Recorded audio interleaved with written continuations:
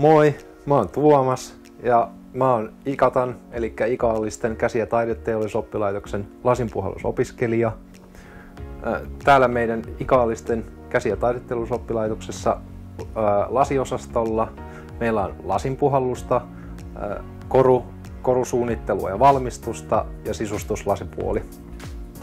Opinnot kestää kaksi ja puoli vuotta noin ja osaamispisteitä tulee 180 opintojen aikana.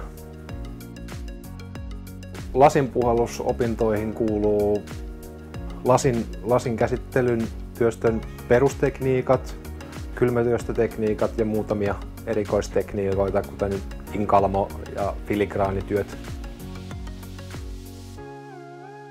Lasinpuhalluksessa erilaisia työvaiheita tulee tietysti kuuman, kuuman lasin käsittely ja kuumasta lasista tehdyn valmiin työn kylmätyövaiheet, johon liittyy sitten erilaisia hionta- ja sahaustekniikoita. Lasin puhallukseen ainakaan ei tarvi aikaisempaa kokemusta.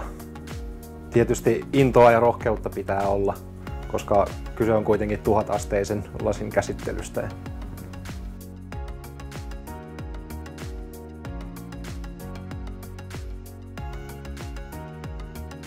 Alan työllistymismahdollisuuksia on ehkä teollisuuden parissa ja tietysti oman yritystoiminnan aloittaminen ja pienien studioiden työntekijänä.